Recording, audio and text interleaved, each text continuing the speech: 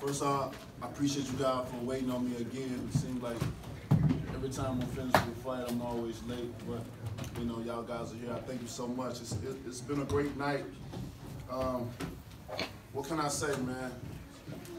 We, we, we, we had to break out myself back down to the basics. You know, when you become a champion and, and you and you become a champion as long as I've been unifying the division, as long as I've uh, have defended my title. Uh, Sometimes it, it makes you get lazy at times when when you become a champion for so long, you know. And with this fight, I had to I had to break myself back down. Of course, it was a lot of animosity, a lot of chaos, a lot of bad blood that was against me and my opponent, and that was the fuel to my fire to to get myself in in the best shape that I've ever been. This camp reminded me of when I first won my world title. You know, I had to break myself all the way back down to the basics, and I enjoyed every moment of it. You know, it was many times when my body was sore, many times I was in the bed, I was I couldn't get comfortable. You know, and I got a very nice bed at the house, and uh, I remember getting upset because you know I needed sleep, but my body wouldn't allow me to because because of the sparring, because of the strength training, you know, all the things that I was doing to prepare myself for this right here, you know, and uh, it takes a lot of hard work, it takes a lot of dedication to just be a fighter, period. You know, a lot of people don't understand what type of work it takes to, to, to do what we do each and every night on top of risking our lives each and every time in the ring. As I always say, our head is not meant to be hit in the first place. That's why I say you must respect all your fighters, you know, that steps in the ring, no matter, you know, no matter what the what, what, what type of level they are, you, you, you gotta respect them because man, we, we pay a price each and every time. You know, there's no money in the world that can amount to our lives or going back to our family. And I know I say a lot of things and and I mean a lot of things, but you know, like I said before, I come from the old school of things is that, you know, when you when you got animosity against each other and you guys want to duke it out, what's the best way? What's the best way? The original way is to put these hands up and sometimes you have to put your hands on somebody and then what made the best man wins and after that you can hug each other you can love each other and live to see another day and that's the thing we did tonight. You know we get to live to see our family. I'm here to see so many beautiful people and you know that's here now and um, now we move on to the next step.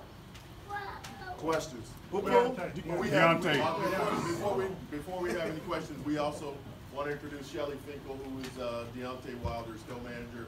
Jay Deas, who is his trainer and his co-manager as well. So uh, we're going to take questions now for Deontay, but they're also available to answer. Deontay, Questions into the mic, guys. Deontay, over here uh, Darren first. Smith out of Kansas City. No, hey, sir, Hold on. sir, Hold on. questions into the mic.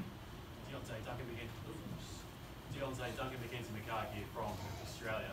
You said before the fight that you wanted to kill Dominic. When you hit him flush with that big right hand, for a, a fraction of a second, did you think you had killed him?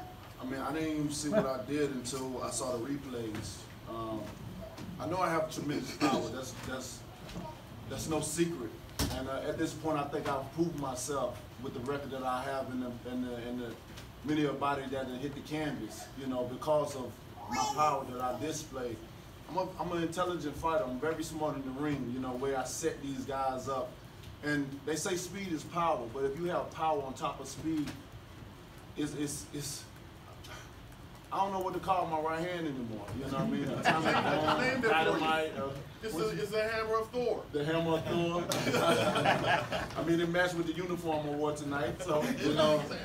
But um, the heavyweight division, when I look at the heavyweight division, it's all based off of power, and I have tremendous power, and I'll taste it against any man that step in the ring with me. That's what makes me the most dangerous man in the world. You know, and that's just because I says it, because of my action inside of the ring. Deontay, Darren. Deontay, Chris Glover, Boxing Monthly, congratulations on a fantastic victory. Thank you. Um, one thing about Dominic Breazeale is he's also fought Anthony Joshua. People are going on about you fighting Anthony Joshua. Anthony Joshua didn't do that to Dominic Breazeale. does this fight really establish where you're at ahead of Joshua, or does it help people compare what level you, you're at and what level Joshua is at? I mean, it's, it's, it's hard, you know, when you're in boxing, we always say styles make fights, and it's so true, you know, certain styles may not complement other styles, and with Breazeale's style, it complements mine. Any guy that gets in, in the ring and can't move their head or not flexible, you know, it's perfect for me, you know, because I'm gonna set you up, and I'm very, I'm faster than what people think. You know, people think, oh, you just got a right hand, so you stay away from that, you know. But when I settle myself down and really use my intelligence in the ring, magic happens. And tonight I displayed that. You know, um, we can compare all we want, but you know, at the end of the day, when when both of us get in the ring, you know, you don't know what's gonna happen. You know, I can't say, you know, that I'm gonna knock him out. I can't say he's gonna knock me out. We just have to see when that time comes and see what happens. Yeah, Darren Smith, Kansas City, Fox Sports Radio. Um, you trained obviously hard for this fight. Uh, this is your 40th knockout. Would you say that this knockout heard around the world kind of put you more so on the map where people know where you're finally getting the respect as a world heavyweight champion? And then also, second part question, is it safe to say that after your performance tonight, this is why Joshua is avoiding you? I mean, this this fight is definitely heard around the world, you know, and uh, I'm finally getting my respect. You know, it, it took a long time, but I'm very patient. You know, where I came from, I had to be patient. You know, even from the Olympics, a lot of people don't even know I was a bronze medalist. But even on top of that, how I got the bronze medal, you know, it was 246 guys in there, and I was the 246 guy, least experienced guy. 278. The 278. you know, I ain't want to, you know, pick myself up. but you know, I'm, I'm happy with all my accomplishments. You know, I'm happy with where I came from and how I started. You know, I started from the love of my my daughter that was born with spinal bifida, and that was a poster my mother once gave me when I was young, and the poster read, "You don't know what you can do until you try," and that word, those words hold dear to my heart to this day. You know, that's why I tell everyone, everyone has greatness in them because greatness is only determined by service. And if you don't apply your service, you just don't know how great you are, how great you can become, you know. And over time, and I apply my service, and I apply my service each and every time. And, you know, and I display greatness when I, when I step in the ring. And the second part of your question, I, I, I put fear in any man. You know, a lot of people say fighters not scared. You know, they get, you know, you know, they can't be scared. Well, we're human. You know, we're gonna have we're gonna have those tendencies of fear. You know, until we get in the ring, and that's how we overcome our fear. Everyone in this room is scared of something. You know, um, but it comes a time where we must face our fears. With me, no man wants to get humiliated on national TV, and their body drops like that. You know, you just never know what it's gonna do after you get hit from a devastating punch. You know, you can fall on your face, you can ball up, your legs can bend, and you know, you can fall out the ring, many different things, and no one wants that highlight on them because the way the internet is set up right now is undefeated. and you know, I mean, it's embarrassing to to get in there, but for me as a warrior, and I see all these other fighters as warriors, I wouldn't, I would tell them don't hold your head down because you did something with a lot of a lot of people in the world. You know, we got what billions of people in the world. I don't know the exact number, but um, that would di- uh, differentiate them from a lot of people because a lot of people won't get in that ring to just step in there, yet alone talking about taking a punch. So I would tell all my opponents, all fighters, to hold your head up high. You know, if you fail, you know, today, tomorrow is, is a new day. You can train, and like I said, you can apply your service and be great. But um, I'm a big threat to anybody in the heavyweight division, and each and every time I display that, not only with my words, but with my action as well. Hey Deontay, congratulations on the win. My question for you is, uh, the next fight for you, it seems it's not gonna be Fury because of his new TV contract, but what do you think legitimately could be your next fight? Is it Joshua? Is it a rematch with Ortiz? Is it Kownacki that people have talked about? So I'd like to hear from you, and maybe, uh, Shelly, you could address that also. Thank you. For me, you know, I don't know what's next to be honest. You know, there's so many different things going on, you know, there's so many different opinions. I just want the best I just want the best fights possible. You know, I've tried to prove myself for a very long time, especially in America. You know, it was it was dead here, you know, for ten years. You know, no one even knew who was the heavyweight champion of the world war. And here you come, here I come, this country boy from Tuscaloosa, Alabama, you know, trying to put it back on the map, even from the Olympics and just work my way up. You know, I really started from the, all the way from the bottom when it comes to boxing, all the way from the bottom. I had to work my way up to this point now. So, you know, with that being said, I think that's something that my managers and, and and my team could ask better than I because, you know, if we've tried many a times to make the best fights, the great fights happen for the fans. You know, I've lowered my standards, you know, to make these fights happen. You know, I've took high risk with low rewards to make fights happen. You know, I asked because Ortiz was here talking about it. Your Most thoughts- definitely. You know, I gave that? Ortiz that opportunity because he was considered the boogeyman of the division. And people were still said I had to prove myself. And that's why I made that fight. I like, let's make that fight happen. You know, if they saying that everyone's scared of him, let's make it happen. That's what I do. You know what I mean? I'm a type of person that I, I wear my pride on my shoulder. You know, I got a big heart. I'm very determined. I know who I am. I know what I stand for. I know what I represent. And anyone can te- if anyone want to test me and doubt me who I am, then I'm willing to prove you wrong. I've had to prove myself to people throughout my whole entire life. So this is nothing new to me. You know, I'm the best in the world, and that's what I feel, no matter what opinion it is. And you know, You would fight him again? Ortiz, I'll fight it up. All, uh, I mean, this heavyweight division is very small, you know. So why not have two fights, three fights? You know, all these guys. That's why I don't understand why none of the big fights haven't happened thus far. If you lose, okay, rebuild yourself and get back up. Most of the time in life, many people lose, but they give up. And the great thing about life is people want to see how you, you fall and get back up. It's easy to stay on top. It easy- It's easy to be a winner and, and, and go around and, and, and, and be a winner with no no losses and, and different things like that. You know, everybody wants to be a winner, but a real winner, a true winner is someone that, that falls from that platform because everyone wants to see how they develop themselves and get back up in life. And that's why I, I don't care about my record, you know what I mean? That's how you become a two-time champion, a three-time champion, a four-time champion. And the heavyweight division, like I said, is very small. So these we, we, we got to make the big fights happen. You know, if one lose, you can come back. Look at all most of these challenges. They they lose so many different times, but how many times they get title fights? Look at Breazeale. He lost before, and now he's in another title fight. You know, and we can the list goes on and on. So I think that's something that Shelly will be, you know, can have more insight on than I. Um, first of all, Deontay will fight anyone. And he was willing to fight Joshua for very little comparative to what he was worth. And when someone wants to make a fight, they make it. When we wanted to get um, Fury, we overpaid him. We gave him anything he wanted in order to make the fight.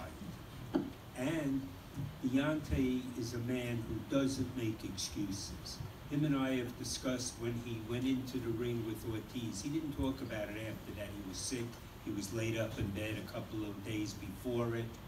And we said, boy, imagine what it would be if you really went into the ring healthy and trained right. You saw pretty much that tonight. And um, we're, I'm in very close negotiations with John Skipper. I'm gonna see him next week. I'm in constant touch with Top Rank. All of those fights are gonna happen, whether they happen next or two fights down the line. You will see all of them in the near future, and they'll be on terms that are acceptable to Deontay, not begged by then what is next? Is it Ortiz? It's not done. It's not done. This coming week, we hope to lock in one of them, One of, the fights for the next fight. Who are those candidates? I, I just named them. Oh, those two, okay. There's three guys out there. One of those will be done then, and very shortly after, another one will be locked in for the next one. Deontay Valeria Rubino, V Sport, congratulations. You said this was much more than a boxing match, but then after your victory, there was a lot of animosity, but then you went on and hugged your opponent. What does this say about the sport of boxing and your approach to it? And also, second part of the question is, uh, nine title defenses, how important, how crucial is patience in this sport? And what does it take to be a long-term champ? Patience is very important in this sport, you know, because I mean, boxing is, is, is like the weather, it changes up all the time. You know, even when you think you have something set and strong, the next minute it changes, it changes. I mean, um, that was once upon a time a, a, a, a fighter, you know, stepped in the ring and when the bell said ding, he got out of there. You know, I'm sure the other opponent was like, man, you messed up my money. You know, I've trained so hard for this fight and just to get to this point, we in the ring facing each other and now you're gonna step out. See, those things in boxing, I mean, boxing keep you on your toes. You know, the business side of boxing is, is, is a crazy thing as well. Um, but uh, I'm, I'm very happy with my accomplishments and defending my title for the for the uh, ninth time. You know, that put me up there with the legends um, up in the sport. You know, and I could I want to continue to to set examples. I want to be a hard acting father for you know younger guys that looking up to maybe be like Deontay Wilder. You know, what was the first part of your question? Oh, About hugging him after. What does he say about your approach to boxing and the sport of boxing itself? Well, I think I show my character, you know, not only outside of the ring, but inside of the ring as well. You know, I know I'm a type of person, I always say I'm passionate about what I say, I'm passionate about what I do. And, you know, for me, I could, I say some of the darndest things. Sometimes I make up my own words sometimes, you know, you may not even understand sometimes what I say, but that's just my passion that come out. And like I said, I, I've been raised by the, by the old school guys, you know, yeah. If you have animosity, if you have some type of some type of ill will towards a person, let's fight it out. You know, that's what I come from. Let's fight it out, and once you get finished, you know, if you got the best of me, if I got the best of you, we can hug it out. I mean, it's always tomorrow, and that's what it is. And that just right there, just that's just what I displayed in the ring. You know, we have so much bad blood against each other, but I did what I had to do. All the negative energy I had towards him, everything that was built up inside of me, I had opportunity to release. That's why boxing is very important. It's a it's a very important sport for me because it gives me the opportunity to release negative energy, even if it has to be on a human being, you know, and I love it. so, but, you know, I got a kind heart and I love everyone, you know, I love all people, and, and um, after doing what I did, I just wanted to come over and say, man, it's over with, you know, we got in the ring, we fought it out, it shouldn't be no more animosity against each other, what happened in the past, we're gonna keep it in the past, and we're looking forward to a beautiful and bright future. Right here, Deontay. Deontay, Jay Aaron Sevier from FightHype.com. Uh, we've seen plenty of fighters criticize you on, on things that you do in the ring, like actual actual skill-based thing, professionals, uh, professional trainers that say these things, sit down, I'm sure they're watching tape, and then when they get into the ring with you, whatever they're seeing on tape is not translating over. What is it that they're missing? What is it that they're not, that they can't, um, that doesn't translate when they get in the ring? It's it's something different. What exactly is that? What do you want- think want that me is? to- You want me to get them the kryptonite to, to, to, to defeat me, you know? I'm just one of those special kind of people, you know? I, I feel, in my strong opinion, I'm one of those type of fighters that come around every so many decades, you know? My grandma said I was anointed by God, you know? And those words still stick with me to this day. And, um, when I was a child, I didn't understand certain things that she would say, you know, because I was a child. So we did as a child, but when I became a grown man, you know, I started realizing, so I started understand. I started get, getting in different situations where I'm like, ah, that's what she was talking about. So I'm still learning myself, you know. I'm big on meditation, so that allow me to even come closer with myself. Sometimes I can spend months and months at a, uh, at a time alone with myself, just to learn myself, just to understand myself a little bit more. You know, meditation is very powerful and it helps me.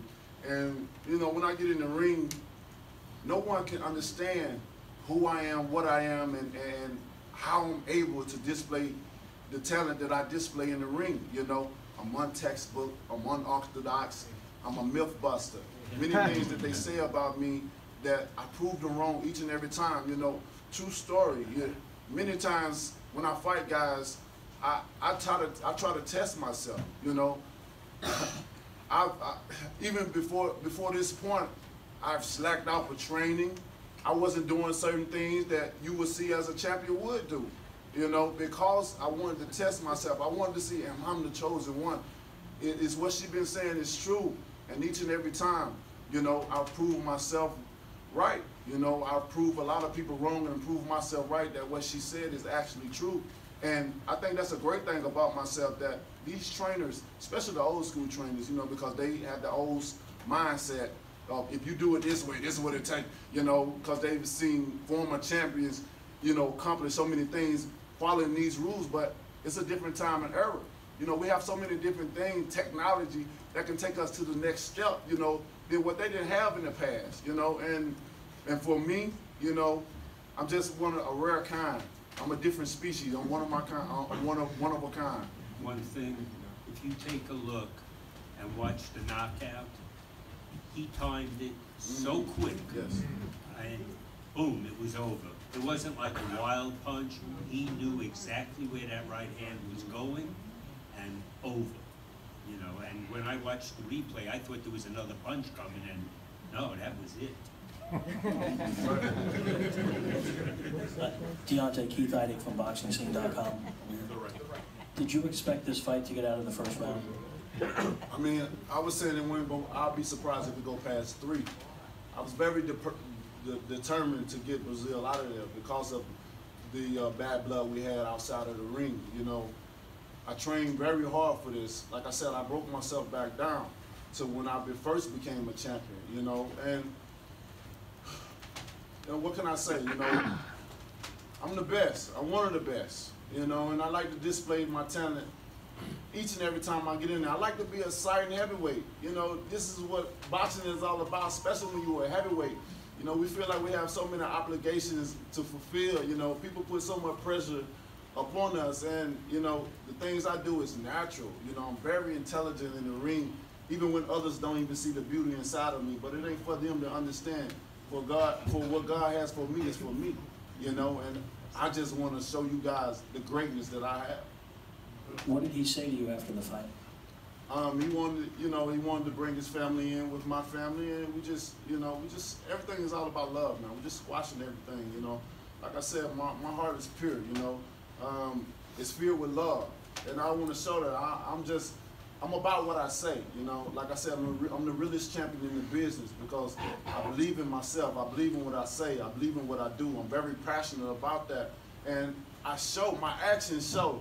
You know, not only just my words, but my actions show and I can break myself down and, and say, man, I love you. You see, he loved me, and you know, man, he wanted to come in and you know bring his wife to meet mine and the kids, and we just come together, man. You know, if I see him out, we can shake hands. I mean, we can go out to eat or something like that. And this is what it's all about. And this, that's why I love this sport. You know, it's it's it helps so many fighter out. You know, some fighters, you know, still are stubborn. You know, some fighters, you know, whether they win, lose, or draw, they still had an animosity, which I don't understand because it's, you know, when you get angry with something, it takes a lot, you know, physically, mentally, emotionally, to stay mad at a person. You know, forgiveness, why, why you can't forgive a person, you know what I mean? I believe in second chances, and I don't want that stress on me because that's a health problem as well, too.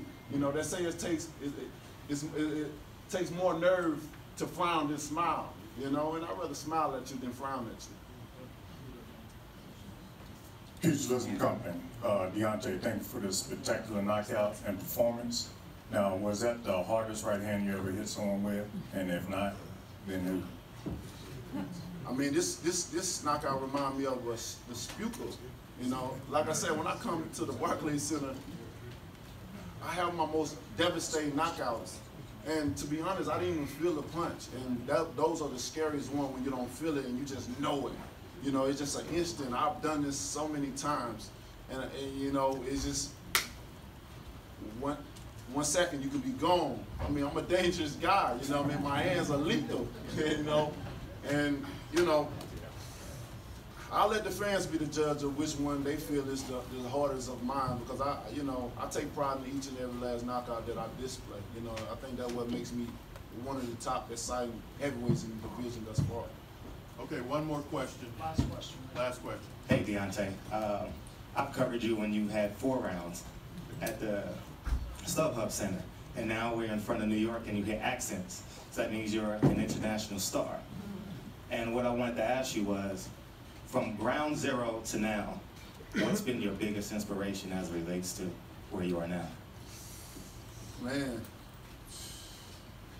just the sacrifice, you know, the sacrifice that I had to endure.